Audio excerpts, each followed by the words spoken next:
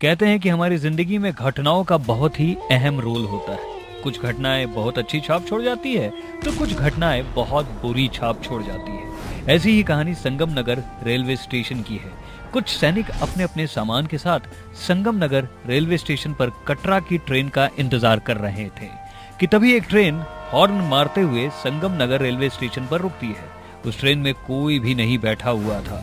उस ट्रेन को देख विक्रम अपने दोस्त राज से कहता है, भाई राज, ये कैसी ट्रेन है? ये ट्रेन तो बड़ी अजीब लग रही है। इस ट्रेन में कोई भी नहीं बैठा है। क्या हमारा इस ट्रेन में सफ़र करना सही होगा? अरे भाई, हमें तो अपनी मंजिल पर जाना है। हमें अपने देश की सेवा करनी है। अब चाहे कोई सी भी ट्रेन हो, हमें जाना तो कटरा ही है। वैसे भी ये ट्रेन भी कटरा होकर ही जाएगी, इसलिए हम इसमें ही सफ़र कर लेते हैं। क्या पता हमारी कटरा वाली ट्रेन कितनी देर में आए? उन दोनों की बातें सुनकर हँसते हुए विकास बोलता है विक्रम, तुम एक सैनिक हो, सैनिक, और सैनिक यूँ इस तरह डरते हुए अच्छे नहीं लगते। सभी सिपाही उस ट्रेन में बैठ जाते हैं, और जैसे ही वो लोग बैठते हैं, वैसे ही ट्रेन अचानक चल पड़ती है। और सभी लोग कुछ देर तो शांत रहते हैं, लेकिन कुछ समय बाद जब उन्हें भूख लगती है, तब राज कहता है, बहुत ज़ोर से भूख लग रही है। ये गाड़ी रुकती है तो बाहर जाकर हम कुछ ना कुछ अपने लिए लेकर आएँगे। सैनिक गाड़ी रुकने का इंतज़ार करते हैं, लेकिन गाड़ी नहीं रुकती, और तेज रफ्तार में चलती ही रहती है। यह देख उन सैनिकों को थोड़ी हैरानी होती है और सभी सैनिक इकट्ठा होकर आपस में बात करते हुए बोलते हैं, अरे, ये गाड़ी रुक क्यों नहीं रही है? भाई, ये रास्ता कटरा नहीं जाता। आखिर ये ट्रेन कहाँ जा रही है? तुम सभी चिंता मत करो। मैं अभी ड्राइवर के पास जाता हूँ और उसे धमका कर आता हूँ। हम भी तुम्हारे साथ चलेंगे। इतना कहकर सभी सैनिक एक साथ ट्रेन के अंदर ट्रेन ड्राइवर के पास पहुँचते हैं, जहाँ वह उन्हें आवाज़ लगाते रहते हैं, लेकिन ट्रेन ड्राइवर उन सभी सिपाहियों का कोई जवाब नहीं देता। विक्रम अब ट्रेन ड्राइवर के पास जाता है और उसके कंधे पर जैसे ही हाथ रखता है, वैसे ही ड्राइवर पीछे की तरफ़ पलटता है, जहाँ उस ड्राइवर को देख सभी सैनिक डर के मारे दो कदम पीछे कर लेते हैं, क्योंकि वह ड्राइवर कोई मामूली ड्राइवर नहीं, बल्कि एक भूतिया ड्राइवर था। वह भूतिया ड्राइवर हँसते हुए सभी सैनिकों को आवाज़ लगाता है। मेरे सभी भूतिया सैनिक, मैं तुमसे विनती करता हूँ, तुम इस आखिरी ट्रेन में अपना अस्तित्व दिखाओ। उस भूतिया ड्राइवर के इतना कहते ही वहाँ पर भारी तादाद में भूतिया सिपाही आ जाते हैं और उनमें से एक भूतिया सिपाही सभी सैनिकों को कहता है, तुम सभी सैनिक चिंता मत करो, हम तुम्हें कोई नुकसान नहीं पहुंचाएँगे। हमें बस तुम्हारी मदद चाहिए। हमारी मदद? भला हम एक इंसान तुम्हारी मदद कैसे कर सकते हैं? तुम भी तो एक भूतिया सैनिक हो। तुम अपनी भूतिया शक्ति से खुद की मदद खुद कर सकते हो? नहीं, हम अपनी मदद नहीं कर सकते क्योंकि आज से छह महीने पहले की बात है। मैं विशाल अपने सैनिक टुकड़ी के साथ इसी ट्रेन से सफ़र कर रहा था कि तभी इस ट्रेन के ऊपर कुछ आतंकियों ने हमला कर दिया, क्योंकि उस समय हम खुद अपने घरों से बॉर्डर पर जा रहे थे, इसलिए हम लोग हथियार से निहत्ते हो रखे थे। हमारे पास हथियार के तौर पर हमारी सुरक्षा के लिए सिर्फ़ और सिर्फ़ हम सभी के पास एक बंदूक थी, लेकिन उन आतंकवादियों के पास हमसे ज़्यादा गोला बारूद थे, इसलिए उन लोगों ने इस आखिरी ट्रेन को ब्लास्ट कर दिया। उस दिन ब्लास्ट में उन आतंकवादियों के साथ साथ हम मर तो गए, लेकिन मरने के बाद हम सभी ने कसम खा ली कि हम आतंकवादियों को अच्छे से सबक सिखाएँगे, लेकिन सबक सिखाने के लिए हमें इस ट्रेन से बाहर जाने की आवश्यकता है, लेकिन हम इस ट्रेन से बाहर नहीं जा पा रहे हैं, क्योंकि हमारे पास शरीर नहीं है। हम लोग अंधेरे में मरे थे, इसलिए हम लोग अगर उजाले में गए तो हम लोग जलकर खाक हो जाएँगे। इसलिए हमें तुम्हारी ज़रूरत है। तुम जहाँ जा रहे हो, उसके विपरीत श्रीनगर बॉर्डर पर आतंकियों ने अपना कब्जा किया हुआ है। इसलिए हम तुम्हें वहाँ ले जा रहे हैं। तुम उधर अपना बल दिखाकर उस जगह को आज़ाद करवा लो मेरे भाई। उस भूतिया सिपाही की बातें सुनकर सभी सैनिकों की आँखों में आँसू आ जाते हैं और सभी सैनिक कहते हैं हम अपने देश और भारत माता के लिए अपनी जान भी देने को तैयार हैं। जब तुम भूतिया सिपाही बनकर हमारी मदद मांग सकते हो तो हम एक ज़िंदा वजूद बनकर उन आतंकवादियों को अच्छा सबक सिखाएँगे। इतना कहकर सभी सैनिक उन भूतिया सिपाहियों के साथ मिलकर श्रीनगर के बॉर्डर पर जाते हैं और आतंकवादियों की टुकड़ी को धूल चटा देते हैं। आतंकवादियों के झंडे को गिराकर वो अपने देश हिंदुस्तान का झंडा लहरा देते हैं।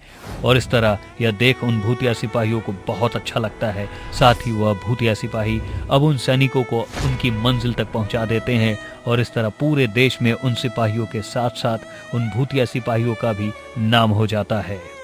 तो दोस्तों, जैसा कि आपने पिछले भाग में देखा कि किस तरह हमारे सैनिकों ने उन भूतिया सिपाहियों की मदद करी और अपने देश को बचा लिया और किस तरह श्रीनगर से वापस वो अपने घर आ गए थे। और उन्होंने कितना नाम कमाया था। ऐसे ही कुछ साल गुजर जाते हैं और एक दिन विक्रम, राज और विशाल के पास एक कॉल आता है। हेलो हेलो, कौन? तुम्हारे देश को एक बार फिर तुम्हारी ज़रूरत पड़ी है। तुम हमें संगम नगर स्टेशन पर मिलने आओ। हम तुम्हें लेने आ रहे हैं। आज रात दस बजे की तुम्हारी ट्रेन है। मैं आशा करता हूँ कि तुम वहाँ पर मौजूद रहोगे। पर पर तुम हो कौन? तुम मुझे इस तरह क्यों बुला रहे हो? अगर तुम समय से आ जाते हो तो शायद तुम्हारा देश बच जाए, लेकिन अगर तुम जरा सा भी देर करो तो तुम्हारे देश को हम बचा नहीं पाएँगे और तुम भी नहीं बचा पाओगे। और इसके जिम्मेदार कोई और नहीं, सिर्फ़ और सिर्फ़ तुम रहोगे। तुम। हेलो? हेलो? हेलो, कौन? विक्रम कुछ बोल पाता कि तभी अननोन पर्सन का कॉल कट जाता है और तुरंत राज और विशाल को कॉन्फ्रेंस कॉल करता है और उन दोनों से विक्रम कहता है। राज, मेरे पास एक अननोन कॉल आया था और वो मुझसे कह रहा था कि अगर मैं रात के दस बजे संगम नगर स्टेशन पर नहीं आया तो हमारा देश नहीं बचेगा। कैसी बात कर रहा है तू, विक्रम? तेरे पास भी ये फ़ोन आया था? तेरे पास का क्या मतलब? इसका मतलब तेरे पास भी आया था? राज और विक्रम तुम दोनों के पास ही नहीं, बल्कि सेम कॉल मेरे पास भी आया था। आखिर इन कॉल्स के पीछे क्या राज है? इसका पता तो हमें संगम नगर स्टेशन पर ही लगेगा। आज रात हम सबको संगम नगर स्टेशन पर जाना ही होगा। संगम नगर स्टेशन पर जाकर पता लगाते हैं। इस तरह तीनों अपना अपना सामान पैक करते हैं और रात नौ बजे संगम नगर स्टेशन पर खड़े हो जाते हैं। तभी अगले एक घंटे बाद गाड़ी हॉर्न मारते हुए आती है। जैसे ही वह गाड़ी आती है, वैसे ही उस स्टेशन पर तेज तेज हवाएँ चलने लगती है। चाँद की रोशनी उन तीनों पर पड़ जाती है। साथ ही भेड़िए की आवाज़ भी आने लगती है। यह देख सभी को अंदाज़ा लग चुका था कि यह गाड़ी कोई मामूली गाड़ी नहीं, बल्कि यह वही गाड़ी है जिसने पिछली बार इन लोगों को श्रीनगर छोड़ा था। और जैसे ही गाड़ी रुकती है, वैसे ही तीनों उस गाड़ी के अंदर बैठ जाते हैं। और अचानक ही गाड़ी तेज स्पीड में चलने लगती है। गाड़ी की इतनी तेज रफ्तार को देख विक्रम बोलता है, मेरे सैनिक भाइयों, क्या इस गाड़ी में तुम हो? अगर तुम इस गाड़ी में हो तो तुम्हें हमारे सामने आना होगा। तुम हमारे सामने आओ और और जब हमें सब कुछ पता ही है तो छुप कर क्या फ़ायदा? हमारे सैनिक भाइयों, आखिर तुम भी हमारी तरह हो। हम लोगों से छुप कर क्या फ़ायदा? उन दोनों की बातें सुनकर वहाँ पर कुत्ते और भेड़िए की भूखने की आवाज़ आ जाती है और अचानक ही ट्रेन की सारी लाइटें ऑन ऑफ़ होने लगती है। या देख विशाल बोलता है, भाई, मुझे नहीं लगता कि ये हमारे सैनिक भाई है। अगर ये हमारे सैनिक भाई होते तो इतना कहने पर हमारे सामने आ गए होते। लेकिन देखो, हम लोगों ने उन्हें कितनी आवाज़ दी, पर इन्होंने तो सुना ही नहीं। वो हमारे सामने आ ही नहीं रहे, बल्कि हमें डराने की कोशिश कर रहे हैं। विशाल की बातें सुनकर वहाँ पर किसी के ज़ोर ज़ोर से हंसने की आवाज़ आने लग गई।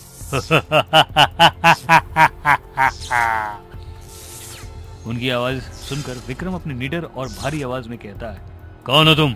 और इस तरह हमें डरा क्यों रहे हो तुम? क्या जताना चाहते हो तुम कि हम भारतीय सैनिक तुमसे डर जाएँगे? ऐसा कभी नहीं हो सकता। तू हमारा कुछ नहीं बिगाड़ सकता। और तेरा सैनिक दोस्त बिल्कुल सही कह रहा था कि हम तेरे मरे हुए दोस्त बिल्कुल नहीं है, बल्कि दुश्मन है दुश्मन। तुमने हमें श्रीनगर में मारा था।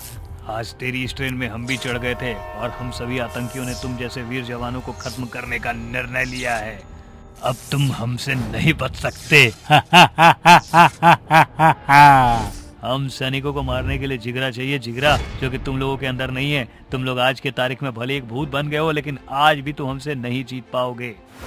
उसकी यह बात सुनते ही भूतिया आतंकी सामने आते हैं और अपनी भूतिया शक्ति से उन्हें हवा में उल्टा लटका देते हैं कि तभी तीनों भूतिया सैनिक उस ट्रेन में आ जाते हैं और अपनी शक्ति से आतंकियों से लड़ाई करने लगते हैं। कोई किसी के ऊपर आग का गोला फेंका तो कोई किसी के ऊपर छूरा चाकू। ऐसी ही उन भूतों के बीच अंधाधुंध लड़ाई होती है और उस लड़ाई में तीसरा आतंकी बोलता है।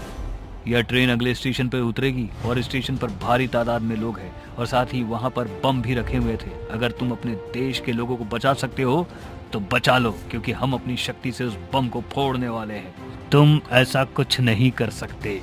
या मत भूलो कि तुमसे ज़्यादा शक्ति हम सिपाहियों में है। अगर हम तीनों भूतिया सिपाही चाहे तो तुम लोगों को एक झटके में तबाह कर सकते हैं और हम तुम्हें तड़पा तड़पा कर मारेंगे। इस तरह लड़ाई करने से कुछ नहीं होगा। मेरे भूतिया सैनिक भाइयों, तुम तीनों इनको देखो और हम अगले स्टेशन पर जाकर बम डिफ्यूज करते हैं। विक्रम की बात से सभी लोग सहमत हो जाते हैं और जैसे ही अगले स्टेशन पर गाड़ी रुकती है, वैसे ही वह तीनों सिपाही स्टेशन पर जाते हैं और बम डिफ्यूज करते हैं, क्योंकि भूतिया सैनिक के साथ साथ भूतिया आतंकी भी नहीं निकल सकते थे, इसलिए वो लोग बाहर रोशनी में नहीं जा सके।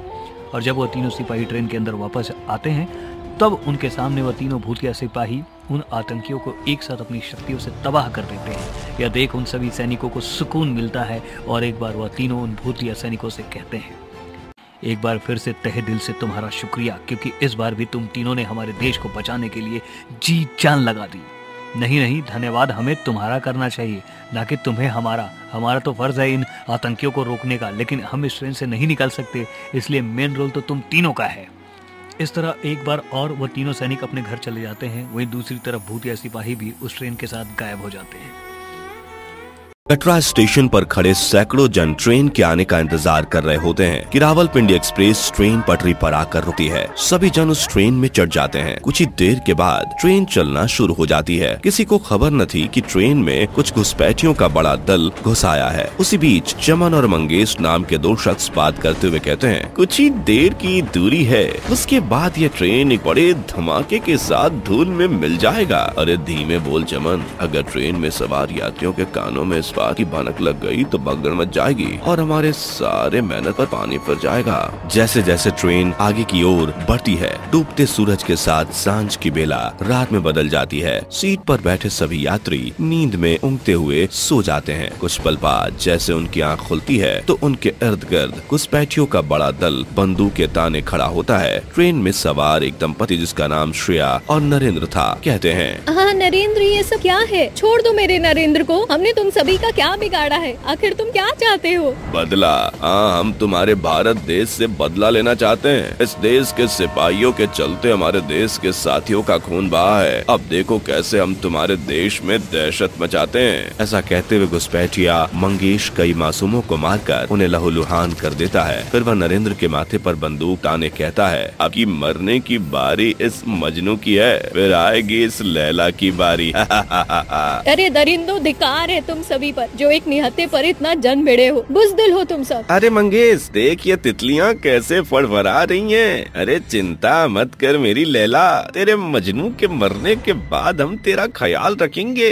तू है तुम पर तुम जैसे बुजदिल छिकर वार करते हो। यह सुनकर चमन बेरहमी से श्रेया के बाल पकड़कर उसे ट्रेन से बाहर धकेलने वाला होता है कि अचानक ट्रेन का फाटक बंद हो जाता है और सभी बत्तियाँ जलने बुझने लगती हैं, जिसके साथ कुछ भूतिया सिपाही अपनी बंदूक के लिए वहाँ प्रकट होते हैं और कहते हैं तुम आतंकी पीठ पीछे वार करने की आदत से बाज नहीं आओगे ना? अब हम तुम्हें भी खाक में मिला देंगे। जैसे कुछ साल पहले हमने तुम्हारे देश के दरिंदों को धूल चटाई थी। भूतिया सिपाही को अपने सामने खड़ा देखकर घुसपैठियों के पाँव पीछे की ओर सरकने लगता है। खौफ के मारे उनका चेहरा पीला पड़ जाता है। तभी वह कपकपाते सुर में कहते हैं मैं कहता हूँ रुक जाओ। आ, आगे मत बढ़ना। वरना इस बंदूक की सभी गोलियाँ तुम्हारे सीने में दाग दूँगा।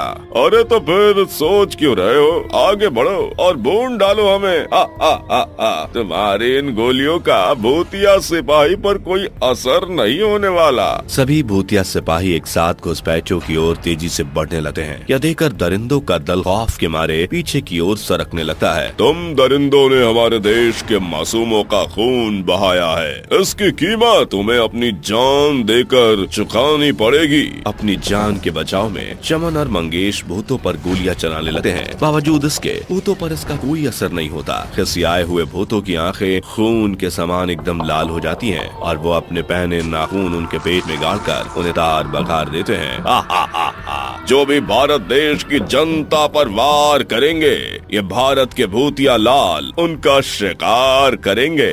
अभी दरिंदों की साँसें ही थमी थी कि कुछ भारत देश के विरोधी भूतिया सिपाहियों का दल। अपनी भूतहा हँसी से ट्रेन में एक बार, ट्रेन के हर बोगी में कोहराम मचाने लगते हैं। तुम्हारे, हमारे साथियों को मार गिराया। अब हमारा सामना कैसे करोगे? कुछ याद आया? अरे, तुम्हें कैसे भूल सकते हैं? तुम भूतिया दरिंदों को? देखो कैसे हम तुम्हारी आँखों के सामने तुम्हारे देश के इन लोगों को फाड़ खाएँगे। वैसे भी मैं और कफार कई दिनों से भूखे हैं। अब तो ये सभी हम भूतों के भूख और बनेंगे। आखिर ये सब क्या चल रहा है? भूतों का यह दोनों दल किस बारे में बात कर रहा है? मैं बताता हूँ ये बात कुछ बरस पहले की है। मैं और मेरा दोस्त करमदीप कटरा के इसी स्टेशन पर खड़े थे। और मन जीत मेरे यार देख रावल पिंडी ट्रेन आ गई। चल इसी में चढ़ जाते हैं। यह पठानकोट होते हुए जाती है। दोनों सिपाही ट्रेन में सवार हो जाते हैं मगर उन्हें एकदम सामने दो घुस बैठिए जिनका नाम कफार और ज़फ़र था बैठे हुए थे। करमदीप जरा इनके चेहरे और हाव भाव तो देख कुछ गड़बड़ लगती है। हाँ यारा मुझे भी उनके भीतर से बहरूपिये की बुआ आ रही है। इसके बाद दोनों सिपाही बना कुछ सोचे उन पर बंदूक तान देते हैं। सच बताओ कौन हो तुम दोनों? आ, आ, आ, तुमने हमें पहचान तो लिया मगर अफसोस कि अब बड़ी देर हो चुकी है। इस ट्रेन के हर बोगी में बॉम्ब लगे हुए हैं। बस चंद पलों की देरी है उसके बाद सभी के चिथड़े उड़ जाएँगे। करम जी समय बहुत कम है। इन दरिंदों को मैं देखता हूँ। तू जाकर बोगी में बैठे लोगों को इत्तला कर दे कि ट्रेन में बॉम्ब है। दोनों सिपाही ट्रेन में सवार लोगों को समय रहते बचा लेते हैं। देखते ही देखते ट्रेन एकदम खाली हो जाती है मगर बदकिस्मती से प्रदेश भक्त सिपाही बॉम्ब की चपेट में आकर अपनी जान से हाथ धो बैठे हैं। मगर देश के प्रति फ़र्ज़ उन्हें मुक्त नहीं होने देती और वो भूत बन जाते हैं। पिछले बार हमने जो गलती की थी उसे इस बार बिल्कुल नहीं दोहराएँगे। इस बार हम तुम दरिंदों की आँखें नोच कर दम लेंगे ताकि फिर कभी भावी भविष्य में कोई भी दूसरा देश भारत से भिड़ने के पहले लाख बार सोचे। ये कहते हुए दोनों भूतिया सिपाही एक जोरदार पैर ट्रेन की ज़मीन में गाड़ देते हैं। तो वहीं दूसरी ओर से भूतिया दरिंदों का दल भी बढ़ चढ़ कर वार करता है। बावजूद इसके वह भूतिया सिपाही के आगे फीके पड़ने लगते हैं और अंत में भूतिया सिपाही उनकी आँखें निकाल लेता है। इसी के साथ भूतिया दरिंदों का दल सदा के लिए खाक में मिल जाता है। भानुगढ़ स्टेशन पर ट्रेन की आवाज़ आती है। सभी यात्री स्टेशन पर ट्रेन का इंतज़ार कर रहे थे। गाड़ी हॉर्न की आवाज़ देते हुए स्टेशन पर रुक जाती है। गाड़ी को देख सभी लोग खुश हो जाते हैं और खुशी से अपने अपने डिब्बे में चढ़कर अपनी सीट पर बैठ जाते हैं और उन्हीं यात्रियों में से चार दोस्त, शेखर, नेहा, विपुल, नीरज, चारों दोस्त हँसी मज़ाक करते हुए सफ़र कर रहे थे। अरे नेहा, देख तो तेरा आशिक तेरे पीछे कैसे डोल रहा है। ओ शट अप नीरज तुम बिना न जाने कैसी बात करते हो? यहाँ भला मेरा आशिक कौन है? अरे हमारा शेखर वही तो है तेरा आशिक। ओ विपुल तुम भी ना। इस तरह सभी हंसने लगते हैं कि तभी अचानक ट्रेन रुक जाती है। और अचानक ट्रेन के रुकने पर सभी लोग थोड़े हैरान हो जाते हैं और आपस में बात करते हुए कहते हैं अरे ये ट्रेन अचानक क्यों रुक गई? पता नहीं पर रुकी भी कहाँ है? देखो तो चारों ओर जंगल ही जंगल। अरे इस भयानक जंगल में ट्रेन क्यों रुक गई है? अरे बहन ये ट्रेन लाइन चेंज कर रही होगी इसलिए ट्रेन रुक गई है। इसमें घबराने वाली क्या बात है? अभी चल पड़ेगी थोड़ी देर में। सभी पैसेंजर एक बार फिर से शांति से बैठ जाते हैं लेकिन ट्रेन को रुके हुए दो घंटे हो चुके थे और वह ट्रेन अभी तक चली ही नहीं थी। यह देख एक बार फिर से ट्रेन में लोगों के बीच बुदबुदाहट शुरू हो गई थी। सभी पैसेंजर आपस में बात करने लग गए। अरे भैया हमका तो डर लागे है। अरे दो घंटा से ऊपर हो गया लेकिन ये ट्रेनवा अभी तक ना ही चली है। बोले तो तुम बिल्कुल सही रही हो बहन। अरे हम सभी लोगन को या तो टीटी से बतियावे के चाहिए ना ही तो डायरेक्टेड ड्राइवर से बात करे के पड़ी। उन सभी पैसेंजर्स को आपस में बात करता हुआ देख नेहा सभी को शांत करवाते हुए कहती है। अरे आप सभी लोग शांत हो जाइए। कभी कभी सिग्नल में प्रॉब्लम हो जाती है और इस प्रॉब्लम को सॉर्ट आउट करने में घंटों लग जाते हैं। इसलिए आप लोग शांति बनाए रखिए। हाँ हाँ तू ही तो टीसी लग रही है यहाँ की जो सभी को शांत करवा रही है। अरे इनको दिखाई नहीं दे रहा है क्या कि गाड़ी दो घंटे से रुकी है? अरे विपुल चुप हो जाना। ट्रेन में अफरा तफरी मची है। इससे तो अच्छा है कि उनको कोई ना कोई बहाना देकर शांत करवा दिया जाए। सभी लोग आपस में बात कर ही रहे थे कि तभी भेड़िए की आवाज़ आने लगती है। और सामने से एक ट्रेन हॉर्न मारते हुए सभी को आते हुए दिखाई देती है। या देख सभी पैसेंजर बहुत डर जाते हैं और डर के मारे धीरे धीरे करके गाड़ी से उतरने लगते हैं। लेकिन जो भी गाड़ी से नीचे उतरता है, वह सीधे मौत के घाट उतार दिया जाता है। लेकिन सवाल तो ये पैदा होता है कि उन लोगों को मार कौन रहा था? क्योंकि गाड़ी को जंगल के बीचों बीच रुके हुए दो घंटे से ज़्यादा हो गए थे। आखिर कौन है जो लोगों को इस तरह से मार रहा था? इसी सवाल का जवाब ढूँढने के लिए नेहा और विपुल ट्रेन से नीचे उतरते हैं जहाँ वो देखते हैं कि उस ट्रेन के सामने एक ट्रेन खड़ी है। उन दोनों ट्रेनों के बीच में जो दूरिया है उसमें सिपाही और आतंकियों की मुठभेड़ चल रही थी। यह देख नेहा और विपुल के होश हवास उड़ जाते हैं। विपुल जो मैं देख रही हूँ क्या तुम भी वो देख रहे हो? हाँ नेहा जो तुम देख रही हो वही मैं भी देख रहा हूँ। इसका मतलब जो भी पैसेंजर उतर रहा है उनको कोई और नहीं बल्कि ये भूत मार रहे हैं। हमें सभी पैसेंजर्स को आगाह करना चाहिए नहीं तो वो एक एक करके नीचे उतरेंगे और ये भूत उन्हें भी मार डालेंगे। इतना कहकर नेहा और विपुल दोनों ही ट्रेन के ऊपर चढ़ने वाले होते ही है लेकिन उन्हें एक तेज रोशनी दिखाई देती है। और वह रोशनी कोई मामूली रोशनी नहीं बल्कि ट्रेन की लाइट थी उनके सामने एक ट्रेन आ रही थी। वो खुद को बचाने के लिए जल्दी जल्दी ट्रेन पर चढ़ जाते हैं। लेकिन अफसोस की बात यह है कि विपुल का एक पैर कट जाता है। बेचारा विपुल दर्द में तड़पता हुआ पैसेंजर के पास जाता है और नेहा के साथ सारी बात बता देता है। यह सारी बात सुनकर ट्रेन में अफरा तफरी मच जाती है और लोग इधर उधर भागने लगते हैं। उन सभी लोगों को भागता हुआ देख शेखर बोलता है। हम लोगों को एकजुट होना चाहिए, ना कि ट्रेन में अफरा तफरी मचाकर इधर उधर भागना चाहिए। अगर हम लोगों में से कोई भी अलग हुआ तो शायद वह ना बचे। इसलिए हम सभी को एक साथ इस खतरे का सामना करना चाहिए। लेकिन खतरे का सामना करने के लिए हम ज़िंदा बचेंगे तब तो। और वैसे भी ये दो भूतिया ट्रेन है। इन भूतिया ट्रेन में हम इंसान कैसे बच सकते हैं? और हम इन भूतों से कैसे लड़ेंगे? पैसेंजर्स ये सवाल कर ही रहे थे कि तभी वहाँ पर दो भूतिया सिपाही आ जाते हैं और सभी से कहते हैं, आप सभी लोग चिंता मत कीजिए। आप सभी लोगों को हम सुरक्षित आपके अगले स्टेशन पर छोड़ देंगे।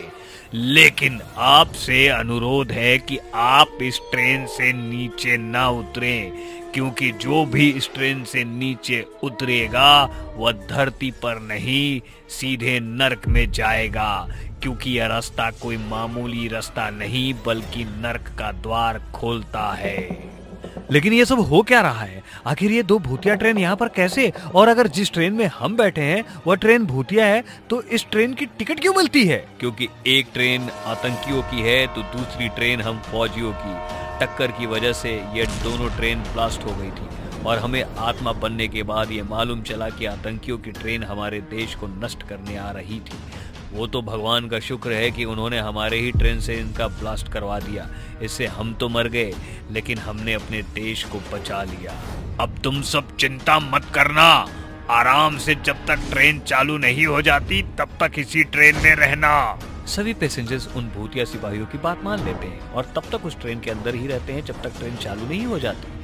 ट्रेन की खिड़की से बाहर के नजारे अजीब वो गरीब देखने को मिल रहे कभी लाल रंग की लाइट जल रही थी तो कभी पीले रंग की रोशनी आ रही यह सब देख यात्रियों के मन में गहरा खौफ बैठ गया था। जैसे तैसे उन लोगों ने वो रात गुजार ली और सुबह के छह बजे ही ट्रेन चालू हो गई। सुभाष नगर जाने वाली ट्रेन रंजीतपुर स्टेशन पर रुकती है।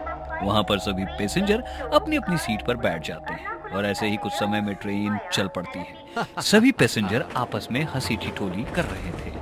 कि तभी वहाँ पर किसी के ज़ोर ज़ोर से हंसने की आवाज़ आती है। उसकी आवाज़ को सुनकर सभी पैसेंजर एकदम शांत पड़ जाते हैं और गौर से उस आवाज़ को सुनने लगते हैं। लेकिन उनके शांत होने पर वो आवाज़ आती ही नहीं है। या देख, उन पैसेंजर्स में से करण कहता है, ये ये आवाज़ कैसी थी? ऐसा प्रतीत हो रहा है जैसे इस ट्रेन में कोई ज़ोर ज़ोर से हंस रहा हो। हाँ हाँ हमें भी ये आवाज़ आई है। लेकिन अभी तक हम शांत हो गए हैं तो ये आवाज़ भी शांत हो गई है। आखिर यहाँ पर इतनी भयानक हँसी कौन हंस रहा है? सभी लोग आपस में बात कर रहे थे। तभी एक लड़की अपने आप हवा में उड़ जाती है और सभी पैसेंजर से भयानक आवाज़ में कहती है मैं किसी को नहीं छोड़ूँगी। मेरे रास्ते में जो आएगा मैं उसे मौत के घाट उतार दूँगी। उस लड़की का यह रूप देखकर और उसकी आवाज़ सुनकर सभी लोग के पसीने छूट जाते हैं। और उन्हीं लोगों में से एक विनीता नाम की लड़की उस लड़की से कहती है। तुम कौन हो? और कौन तुम्हारे रास्ते में आ रहा है जिसे तुम मौत के घाट उतार दोगी? उसकी बातें सुन वह हवा में उड़ती हुई लड़की नीचे शांत बैठ जाती है और अपनी लाल आँखों में आँसू लिए विनीता से कहती है मेरी शादी मेरे सिपाही से करवा दो। मेरे सिपाही ट्रेन की दूसरी बोगी में है। हम दोनों को अलग कर दिया गया है। यदि हम दोनों की शादी हो गई तो हम दोनों यहाँ से मुक्त हो जाएँगे। आखिर कौन हो तुम? और तुम्हारा सिपाही दूसरी बोगी में कैसे? बताती हूँ सब कुछ बताती हूँ। सुभाष नगर जाने वाली ट्रेन में कंचना अपने प्रेमी सुमित का इंतज़ार कर रही थी। सुमित कोई मामूली इंसान नहीं बल्कि एक फौजी था। कंचना फौजी से बेहद प्यार करती थी। और ऐसे ही जब सुमित उस ट्रेन में चढ़ता है, वैसे ही कंचना की फैमिली भी ट्रेन में आ जाती है। और दोनों को एक साथ देख, लड़की का भाई उन दोनों से कहता है, तुम दोनों ने अगर एक दूसरे का साथ नहीं छोड़ो तो मैं तुम्हें यही मारकर इसी ट्रेन में दफन कर दूँगा। नहीं भैया, हम दोनों एक दूसरे से जुदा नहीं हो सकते, क्योंकि हम दोनों ने एक दूसरे से बेहद प्यार किया है। हाँ भैया, आखिर आप सुमित को अपनाना क्यों नहीं चाहते? आखिर क्या खराबी है सुमित में? देखिए, ये तो एक फौजी भी है। फौजी है तो क्या हुआ? इसे बस मेरी बहन ही नज़र आ रही है, और जो मेरी बहन को देखेगा, मैं उसकी आँखें नोच लूँगा। वह इस देश का फौजी हो, या कोई और? भैया, जिस तरह आप अपनी बहन से प्यार करते हैं, उसी तरह मैं भी आपकी बहन से प्यार करता हूँ। जो आपकी बहन से सबसे ज़्यादा प्यार करता है वो कोई और नहीं, बल्कि मैं, सुमित भारद्वाज हूँ। तो मुझसे ज़ुबान लड़ाता है। आज मैं तेरी चमड़ी उधेड़ दूँगा। इस तरह कंचन का भाई सुमित को बेरहमी से पीटने लगता है। क्योंकि सुमित कंचना से प्यार करता था, इसलिए वह कंचना के भाई को हाथ भी नहीं लगाता। वरना अगर सुमित चाहता तो वह कंचना के भाई को दो पल में ढेर कर सकता था। लेकिन उसने ऐसा नहीं किया। और इसी बात का फ़ायदा उठाकर सुमित को कंचना के भाई ने इतना मारा इतना मारा कि उसकी हालत अधमरी हो गई। सुमित की यह हालत देख कंचना अपना होश खो बैठती है और अपने भाई की कमर से चाकू निकालकर अपनी गर्दन पर चाकू रखकर अपने भाई से कहती है भैया आपने आज तक मुझे समझा ही नहीं। आपको आज तक मेरी पसंद का पता ही नहीं चला। आज मैं अपनी पसंद के साथ जा रही हूँ। मेरी इच्छा अधूरी रह गई लेकिन मैं अपनी इच्छा पूरी करने वापस ज़रूर आऊँगी। और हाँ मैं तब तक यहाँ से नहीं जाऊँगी जब तक मैं सुमित से शादी ना कर लूँ। इतना बोलकर कंचना अपनी गर्दन काट लेती है और वह मर जाती है। यह देख सुमित तड़पते हुए कंचना के भाई से कहता है तुम्हारी वजह से मेरी कंचना मर गई और मेरे जीने की वजह खत्म हो गई। लेकिन तुम सभी याद रखना, मैं और कंचना यहाँ से कहीं नहीं जाएँगे। आज हम अपना शरीर तो छोड़कर जा रहे हैं, लेकिन हमारी रूह इसी ट्रेन में भटकती रहेगी। इतना कहकर सुमित अपने आप को गोली मार लेता है और वह फौजी की ड्रेस में ही मर जाता है। उन दोनों की लाश देख कंचना का भाई से उसका दोस्त सोहन बोलता है। अरे कंचना के भाई, मैं तो कहता हूँ कि इन दोनों को अलग अलग इस ट्रेन की बोगी में जला दो, क्योंकि इन लोगों ने जैसी कमिटमेंट कर रखी थी, या मरने के बाद भी जाएँगे नहीं, क्या पता वापस आ जाए? क्योंकि अक्सर ऐसा होता है कि मरते समय जो इंसान जिस बात का ऐलान कर जाता है वो अपनी इच्छा पूरी किए बिना वहाँ से या कहीं से भी नहीं निकलता। उसकी बातों को मद्देनजर रखते हुए कंचना का भाई और सोहन दोनों को अलग अलग बोगी में छोड़ देते हैं, और उस ट्रेन को आग लगा देते हैं, जिसके बाद उस ट्रेन को पंडित से बंधवा देते हैं। इस तरह मैं और मेरा सिपाही हम दोनों अलग हो गए। अगर आप लोग मेरी शादी मेरे देशभक्त सिपाही से करवा देंगे तो हम दोनों आज़ाद हो जाएँगे। उस लड़की की बात सुनकर सभी पैसेंजर की आँखों में आँसू आ जाते हैं जिसके बाद सभी पैसेंजर उससे बोलते हैं मैं तुम्हारी शादी करवाऊँगा लेकिन जब तुम दोनों इस दो अलग अलग ट्रेन की बोगी में बंधे हुए हो तो तुम दोनों एक कैसे हो सकते हो? इन दो बोगियों के बीच में एक छोटा सा ताबीज है। यदि तुम इस ताबीज को निकाल दोगे तो मेरा सिपाही मेरे पास आ जाएगा। लड़की की बात सुनकर सभी पैसेंजर उस ताबीज को ढूँढने लगते हैं और आखिरकार वो ताबीज मिल जाती है, जिसके बाद पैसेंजर उस ताबीज को निकाल कर फेंक देते हैं और इस तरह दूसरे बोगी में से भूतिया देशभक्त सिपाही आज़ाद होकर अपनी प्रेमिका कंचना के पास आ जाता है और कंचना भी उस लड़की का शरीर छोड़ देती है, जिसके बाद पैसेंजर उन दोनों की शादी करवा देते हैं और इस तरह वह दोनों उस ट्रेन को छोड़कर हमेशा हमेशा के लिए चले जाते हैं। वैभव विशाल के साथ अपने फौजी ड्रेस में रंजनपुर गाँव के स्टेशन पर खड़ा था कि तभी वहाँ पर एक ट्रेन हॉर्न मारते हुए आती है। आवाज़ के साथ साथ स्टेशन पर अनाउंसमेंट होती है। रंजनपुर से जाने वाली गाड़ी नंबर पाँच सात आठ तीन दिन के दो बजकर अंठावन मिनट पर प्लेटफॉर्म नंबर एक पर आने वाली है। उस अनाउंसमेंट को सुनकर विशाल वैभव से कहता है अरे भाई मुझे तो किसी दिन वो लड़की मिल गई ना तो मैं तो इससे शादी कर लूँगा। यार इसकी आवाज़ से तो मुझे प्यार हो गया है। अच्छा ठीक है बाबा तू उससे शादी कर लेना लेकिन अभी गाड़ी आने दे वरना हम अपनी मंजिल पर नहीं पहुँच पाएँगे। दोनों आपस में बात कर रहे थे कि तभी वहाँ पर ट्रेन आ जाती है, जिसके ऊपर खून के छींटे लगे हुए थे। यह देख वैभव विशाल से कहता है, विशाल, ये देख, ट्रेन पर खून के छींटे हैं। अरे, तूने वो न्यूज़ नहीं पढ़ी थी क्या? अभी कुछ दिनों पहले ही तो आई थी। वो मौत कैसे हुई, ये आज तक किसी को नहीं मालूम चला। और तब से ये ट्रेन बंद ही पड़ी थी। अभी इसे दोबारा चालू कर दिया गया है। हो सकता है कि इस ट्रेन की सफ़ाई नहीं हुई होगी, तभी इस ट्रेन पर खून के छींटे हैं। खैर, अभी चलो यहाँ से। वह दोनों अपना अपना सामान उठाते हैं और उस ट्रेन पर चढ़ जाते हैं। कुछ ही समय बाद ट्रेन में एक बार और एक फीमेल वॉइस की अनाउंसमेंट होती है। सभी यात्रियों से अनुरोध है कि वो रात नौ बजे के बाद ना जागे। विशाल देखना ये अनाउंसमेंट वाली क्या बोल रही है? रात नौ बजे आगे ना बढ़े चुपचाप सो जाएँ और अगर हम लोग नहीं सो पाए और हमें नींद नहीं आई तो हमारा क्या होगा? यार तेरी कितनी फटती है। We are the Indian soldier इसलिए डरो मत कोई भी हमें कुछ नहीं करेगा। विशाल मैं भी यही आशा करता हूँ कि हमें कोई कुछ ना करे। दोनों आपस में बात कर ही रहे थे कि तभी ट्रेन एक झटके से स्टार्ट हो जाती है और धीरे धीरे गाड़ी आगे बढ़नी शुरू हो जाती है। ऐसे ही रात के आठ बज गए और उस गाड़ी में अब सब पैसेंजर सो गए थे। वैभव और विशाल भी सोने जा रहे थे। कुछ ही समय बाद वैभव और विशाल सो भी जाते हैं कि तभी वैभव के कानों तक गोलियाँ चलने की आवाज़ आती है। गोलियों के चलने की आवाज़ के साथ ही वैभव की आँखें खुल जाती है। जब वो ट्रेन की छत पर एक साय को देखता है तो वह देखता है कि वह साया भागते हुए बाथरूम की तरफ़ चले जाता है। यह देख वैभव विशाल को उठाता है। विशाल, मैंने अभी कुछ देखा। यहाँ ऐसा लगा मैंने जैसे किसी साय को देखा और वह साया बाथरूम की तरफ़ गया हुआ है। यार, वैभव, तू भी कैसी बात कर रहा है? समय देख, रात के साढ़े दस बज रहे हैं और इतनी रात को तुझे कौन डराने की कोशिश करेगा? लगता है तू ना मेरे साथ मज़ाक कर रहा है। नहीं विशाल, मैं मज़ाक नहीं कर रहा हूँ। मेरे कानों तक गोलियों की आवाज़ भी आई है और ऐसा लग रहा है कि दूसरे डिब्बे में कोई मतलब किसी ने, किसी के सीने पर गोली उतार दिया हो। चल, मैं तेरी बात मान लेता हूँ। हम दूसरे डब्बे में जा रहे हैं। लेकिन अगर वहाँ कुछ नहीं हुआ ना, तब मैं तेरे सीने में गोलियाँ उतार दूँगा। याद रखियो तू। हाँ हाँ ठीक है। इतना कहकर वैभव और विशाल दोनों ही दूसरे डिब्बे की ओर जाने लगते हैं उन्हें वहाँ पर कोई दिखाई नहीं देता। यह देख विशाल वैभव को कहता है, देख लिया ना, कोई नहीं है ना यहाँ? तू कुछ भी, यार, वैभव पता नहीं कैसी कैसी बहकी बहकी बातें करने लगा है आजकल। इतना कहकर विशाल और वैभव दोनों वापस अपने अपार्टमेंट की तरफ़ पड़ जाते हैं। तभी उनके कानों तक एक आवाज़ आती है हमें बचा लो, हमें बचा लो। इन आतंकियों से, इन लोगों से इस ट्रेन के ऊपर कब्जा किया हुआ है।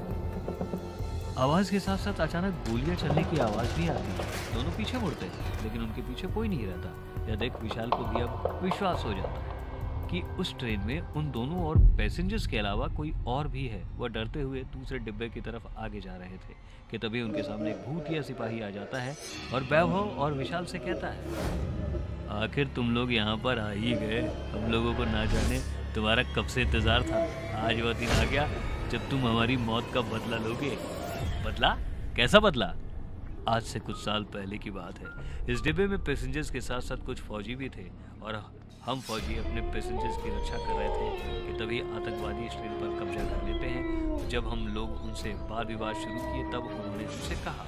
तुम्हारी सरकार के पास हमारा एक आतंकी सोहेब है। अगर तुम लोगों ने सोहेब को नहीं छोड़ा तो हम इस ट्रेन में मौजूद सभी पैसेंजर्स को मौत के घाट उतार देंगे और तुम्हें तुम्हारा भगवान भी नहीं बचा पाएगा। हमारा क्या है? हम तो अल्लाह के रखवाले हैं और हम इस ट्रेन के साथ ब्लास्ट हो जाएँगे। हम तो जन्नत में जाएँगे, जन्नत में। लेकिन तुम लोगों का क्या होगा? तू हमारा कुछ नहीं बिगाड़ सकता। और रही बात सोहेब की तो वह कभी आज़ाद नहीं होगा। तू हमारे सोहेब को आज़ाद नहीं करेगा? देख, अब हम सब तुम देशवासियों का क्या करते हैं? इतना कहकर वो आतंकी एक पैसेंजर का गला काट देता है। यह देखना चाहते हुए भी अब सरकार को सोहेब को आज़ाद करना पड़ता है। लेकिन जैसे ही सोहेब आज़ाद होकर अपने देश पहुँचता है, वैसे ही उस ट्रेन में ब्लास्ट हो जाता है। हम लोग इसी तरह से मरे हम तुम दोनों से यही चाहते हैं कि तुम लोग हम सभी को इंसाफ दिलवाओ, क्योंकि हमारी आत्मा इस ट्रेन में भटक रही है। हमारी आत्मा को आज़ाद करवाओ, साथ ही उन आतंकियों को अच्छा सबक सिखाओ। ठीक है, हम आपको आज़ाद करवाएँगे। लास्ट डिब्बे में ही सभी की लाशें रखी हुई है। तुम जाकर हमारी अस्थियों को नदी में बहा दो। जैसे जैसे वो सैनिक बोलते हैं, वो दोनों सिपाही वैसा वैसा करते हैं, जिसके बाद वो दोनों अपने गुटों के साथ मिलकर आतंकियों के ठिकाने को ब्लास्ट कर देते हैं। इंडिया पाकिस्तान बॉर्डर पर इंडियन आर्मी और पाकिस्तानी आर्मी के बीच ताबड़तोड़ लड़ाई चल रही थी। इंडिया की आर्मी धीरे धीरे कमज़ोर पड़ने लगी थी।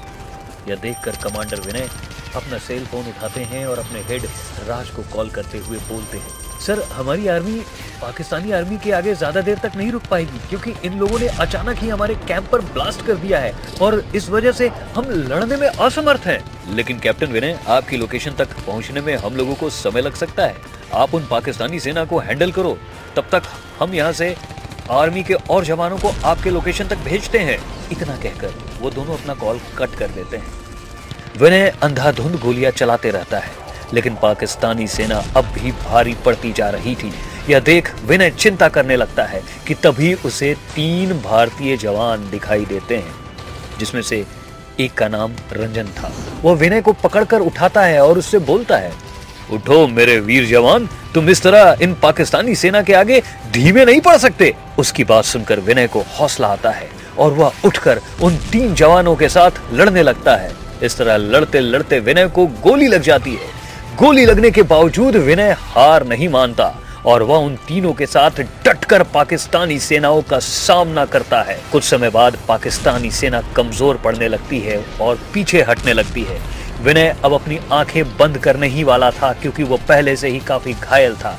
तभी विनय उन तीन सैनिकों से बोलता है मेरे वीर जवानों, तुम हो कौन? क्योंकि मैंने आज से पहले तुम लोगों को कभी यहाँ नहीं देखा।